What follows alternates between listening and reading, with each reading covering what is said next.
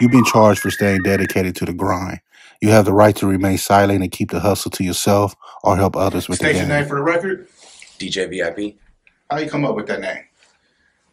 I was given uh, that name by a friend from um, my uh, church league basketball team when I was in the eighth grade. So you on a basketball team? They just call you VIP man, DJ VIP, She just called me a VIP, VIP. and we ran with it. So you have skill. What position you play? Man, I was like a, I was a power forward most of the time. I didn't really have the height at the time and, and the, the body to be a center, but I wasn't quick enough, and I just didn't have the handles to get down as you know a point or a shooting guard like that. I wasn't a shooter. So where's your hometown from, man? Where you from? Union City. Union City. Where's that at? Uh, it's the East Bay, Bay Area, California. Bay Area, East Yeah. Bay. Only thing in East Bay I know is about the little shoes we buy off the East Bay magazine. Oh no, that, that magazine is actually based out of the East Coast. Mm.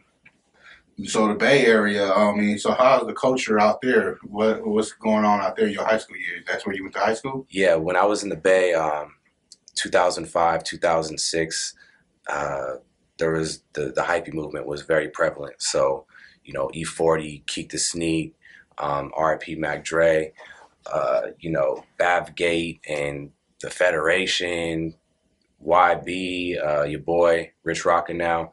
Uh, just the Bay was on fire in 2005, 2006. So I grew up around uh, a lot of culture and when there was a, a big movement going on around me. So it was uh, easy to get involved with stuff and easy to really to fall in love with music at that time.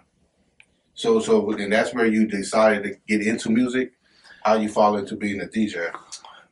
Man, DJing was was something that it kind of like got brought to me. My homie had brought me a magazine that had some DJ equipment in it, and I was like, man, that shit looks dope. Like, that's cool. So I just kind of started looking into it, doing some research, and then I called a local radio station, and they uh, they linked me with some gear. I'm like, yo, I need some equipment. Y'all got something in the back room I could take or something? Like, get me started. I was hungry, and uh, this personality by the name of Fresca had laced me up with some gear, and that's what really got me started uh, with my DJing when I was in the eighth grade. So you never tried being an artist? No, I never tried rapping. You will not find nothing of me online rapping. It doesn't exist. So never tried to be an artist. So when you came into man, who created that DJ VIP logo, man? Pretty sick. Man, I forgot bro's name to be honest, but I'm the one who came up with the concept. Uh, his name's Ulysses. That's what his name was. Um, I came up with the concept of wanting to utilize a record. My D, you could tell, looks like a record in the O part. It's got the little vinyl grooves in it, and my J curves around like a needle. So that was something I wanted to implement in my logo, and uh, that was definitely my idea. But Ulysses brought it to fruition. So who introduced you, man, into snowboarding? Man, when my exes did, you know, uh, when my exes from college laced me up with the snowboarding. And as a kid, I grew up in the mountains. I went camping. I was very active, went fishing, spent a lot of time with my parents, my grandparents. And uh, I love the outdoors, but I was never introduced to snowboarding because my parents, my mom in particular, was a worrywart. Yeah. So, you know, bless her heart, but she uh she was just always scared I was gonna get hurt. And most of the time I did, but uh when I was old enough to financially do it myself on my own time in college, I took it up and I've just been running with it since. Yeah, I tried snowboarding one time, man. Got to the top of the hill and realized that snow is hard as hell. And walked all the way back down. Yeah, if, if it's icy, it's not fun. You got to make sure you're in fresh powder, otherwise it, it won't be a good time. Yeah, they didn't tell me nothing about no fresh powder, man. So who um what who in the music industry you affiliated with? Like what group are you in? Well, I work directly with Nipsey Hussle, um, All Money In, All Money Out. Uh, I've been with him since 2012 or so. Uh, I've had a relationship with him since 2009, 2010.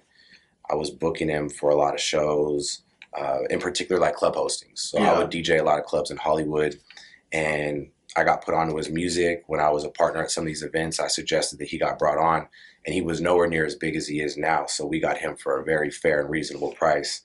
Um, got a lot of promo out of it, and in turn built a relationship with Nip that is what it is today. So I would take it you're part of the All Money In team. Yes. Now say um, somebody else want to hire you as a DJ.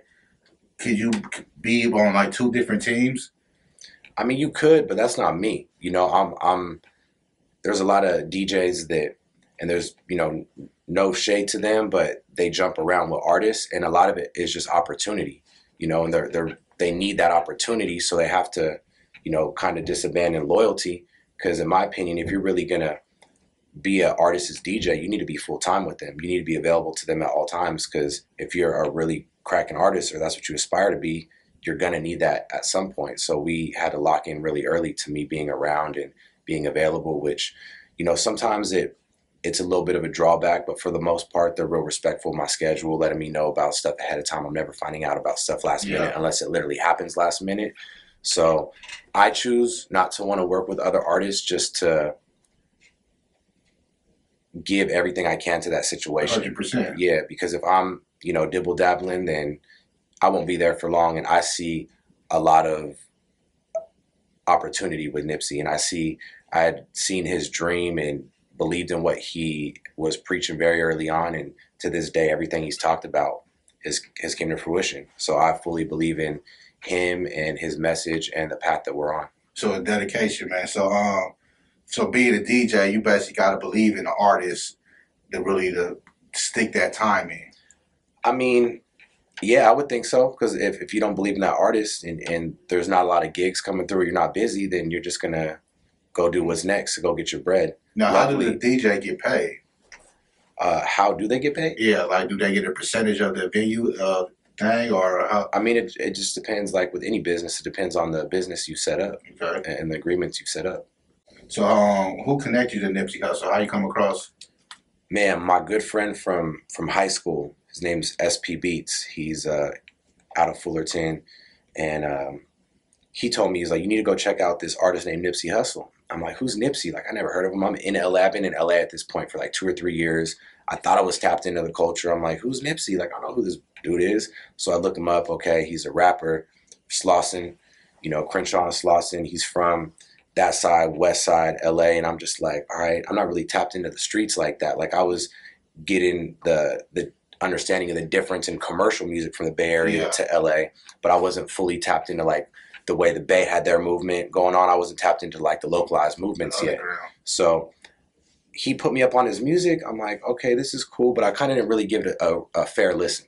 So maybe a few months later, I got booked on this event at the Dragonfly in Hollywood, and it was a Nipsey Hussle show. So I was DJing, I was the house DJ, a few opening acts, and Nipsey was hosting. So I'm like, or, or performing. I'm thinking, man, I remember this name, but I don't remember his music. So then after the show, I go back and I tap into the project to the marathon, and that's where I'm like, oh yeah, this dude's onto something. So that's when I started to really become a fan first of Nipsey's music. That was in like 2009. So so like say back, I know early music with Nipsey was really crippin'. Mhm. Um, so was that kind of intimidated from coming from the Bay Area, coming to the gangland of LA, dealing with an artist straight in the culture of the gang?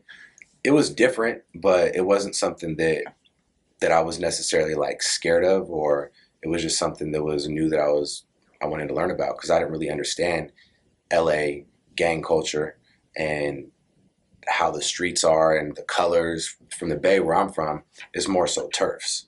It's not really Bloods and Crips and like it's this is my block and you might have some some Mexicans and blacks that are living together or they got a turf and it's not it doesn't have to do with necessarily your race or your color. It's just y'all all live on that same block. That's your neighborhood. That's what you protect. So what made you drop this wrap up mix in 2014, man? I had seen a lack of a presence of physical copies. One thing that I noticed when hip hop and when DJs were really booming was the mixtape game was going crazy. And, you know, drama definitely set like a big bar for that. And obviously he had to deal with the repercussions for it. Um, but my, my mixtape, the uh, the wrap up mix is a promotional mixtape that I do every year for for for the fans. You know, it's it doesn't really for me, I wanted to build a catalog of something that later down the, the line, whether I'm around or not, it's just something that I've done. Like I got these hard copies, and they're they're always going to be here. Obviously, it exists digitally, but I wanted to create this catalog that showed consistency. And every year, I put out the project that ranges from like 32 to 40 songs, and they're all mixed together. So it plays like one long track. It sounds like you're at the club, but you don't got to deal with the DJ yelling over the mic the whole time. You can put the thing on and let it ride for your party. Yeah. Top songs from the year: R&B, rap, and hip hop, and you know the top charting songs, top songs in the club, in my opinion. And from all these years now, five years in, I get a great response. I got people in June, July telling me they're still listening to last year's wrap up mix. I got people who tell me I got the the 14 in the car, the 15 in the car, you know. I So got the 14, 15 on my phone right now, man. there you go. So so it is doing so good right now. So I know you got artists trying to pay you to be on it. You accept it or Yeah, no, that that's merely a commercial mixtape. So I've gotten some some decent offers for some money, but that's not what it's about. For me, it's about creating a consistent catalog and a themed project. As you could see every year, it's got a very similar theme. We just swap up the colors, and I usually do a play on the colors depending on um, just what stands out to me that year. So one year is it was like I think Warriors Colors. I think that was the year that they won out from the Bay. So Yeah. that was like homage to them. Um, this past year, I did Red, White, and Black. That was kind of a play on Victory Lap because of what happened in 2018 with Victory Lap and all the success we had seen with that. So every year, I try to have that that continuity with the project theme, but always come with different style of songs, obviously, and mixing, and try to just raise the bar every year. now so with your project with the CDs, now do your team also like bring in like say if I order a, a Crenshaw shirt, will they throw your CD in the package too? Have you worked a deal out with that? I mean, I've given CDs to the shop, but everything with the marathon clothing is totally separate from what I do. It's a part and obviously within the the All Money In brand Yeah. and capsule, and we try to do as much stuff as we can together. But the CDs haven't been directly like packaged in with anything with the marathon clothing.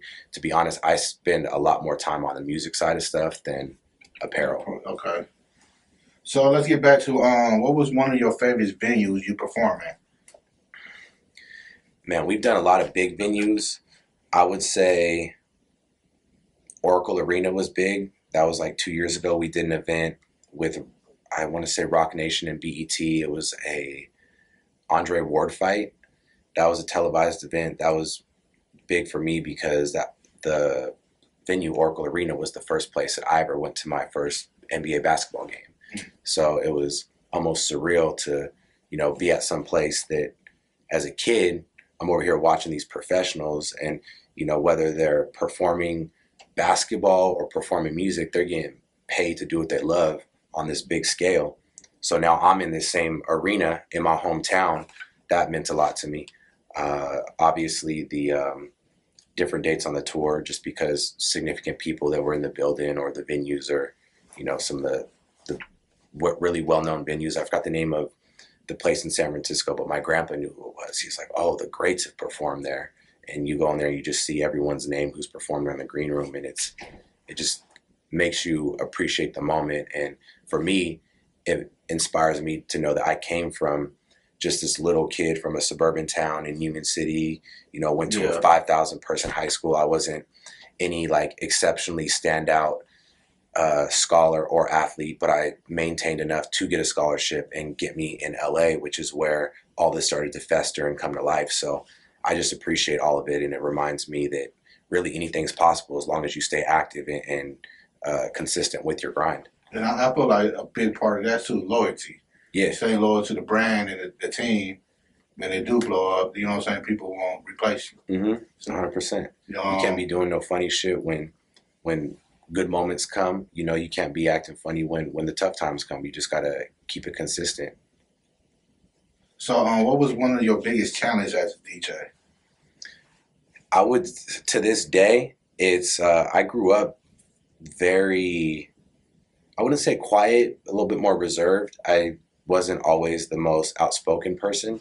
So for me, just like talking in front of people was was like a fear of mine. When I would be in college, you know, 2007, 2008 and do group projects or whatever, I would be nervous talking in front of a small group of like 20, 30, 40 people. Yeah. So that was something I had to overcome was like stage fright, just being in front of so many people, so many eyes on me. But once I really knew that like people were there because they want to see us and you know what I mean they're not there to hate on us, they're not there to be on no funny shit. They love what we do, just do it. So I show up and get Cool. past all that. So do you ever feel like the DJ get overshadowed? I think in some instances, but it's not about people don't go for the artist slash DJ experience unless that's what it's sold as. You know, uh, I think who who was it? Maybe Whoo Kid and like Waka Flocka or somebody. They went on a little run together and they had a full set they did. But when people are going to these shows, they're going to see Nipsey perform. Luckily, he gives me an opening set to where before he even comes out, I get to do my thing.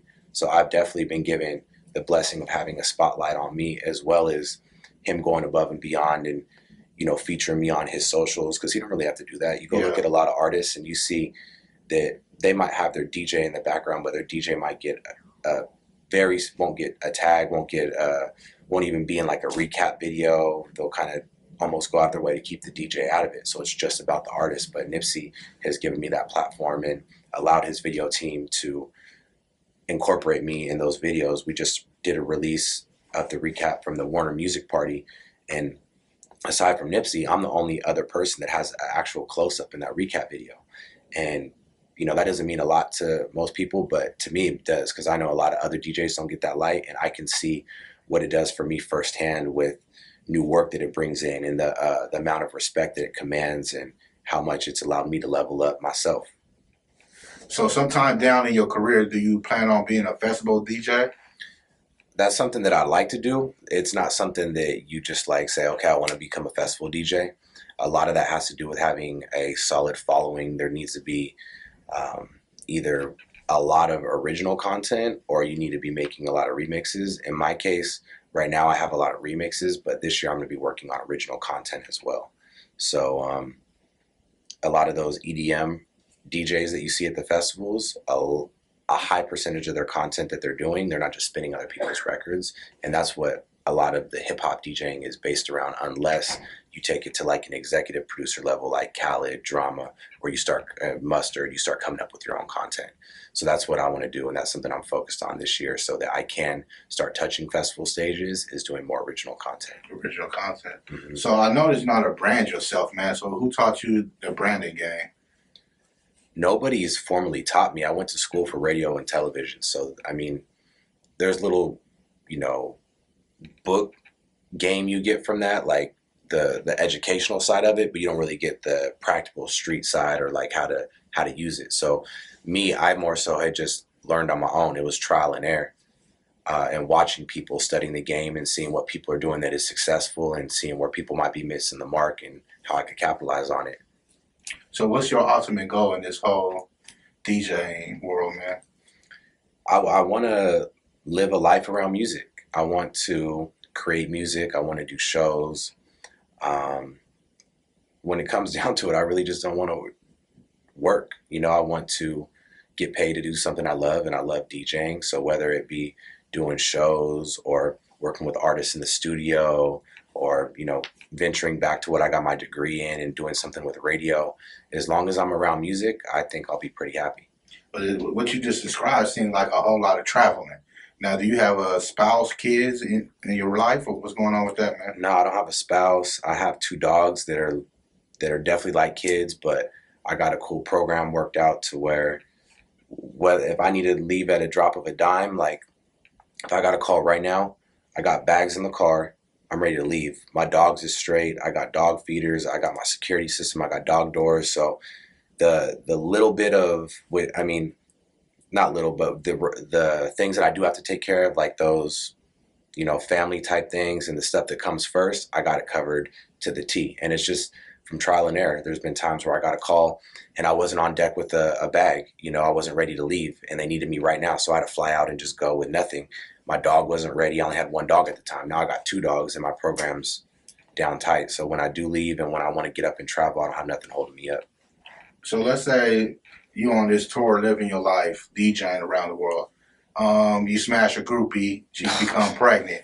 Do you you alter your life and become a, a a parent, or fuck, you gonna stay on that career path? I mean, I'm gonna do what I need to do as a man to take care of anything that that I might bring to life, you know, literally or, or uh, whatever. But I'm uh, I'm on this this path. You know, I, I I've already missed other opportunities or not even opportunities, but I've turned down other situations to do what I'm doing now. So I think it'd be a disservice and disrespectful to myself to stop it for any other reason other than a reason that I want to stop it. So do you smoke weed, man? I do. It's legal in California. How about on the job? Um, if if everything's taken care of and I can relax a little bit, then yeah. Now, is you a heavy smoker or you smoke a blunt a day or something? What's the average? Man, me and my boys having this conversation yesterday. I think I'm a heavy smoker. About five to maybe ten blunts a day. Shit, so you wake up smoking. hundred percent. So that don't get you out your motivation of want to get out here and grind? Nah, not at all. Have you ever fucked up on the job? Not on account of smoking, I would say. I mean, there's been little things that we've had issues with, but they're they're not so much um, something that I did. More so, just like technical failures. So you're an old school smoker with blunts? What about this wax? You fuck with that wax and all that? I can't do that. See, that's where I get unfunctional. You know, that's where the unmotivated smoker is is with the wax. To me, I can't do it. I smoke blunts. Yeah, because rumor, man, I heard rumor that you don't go nowhere without a blunt, even when you're driving. I I need my lawyer, bro. I I, I ain't answering that one. I plead the fifth. All right, man. Your, your choice, man. I'll go get them right now. Grind face.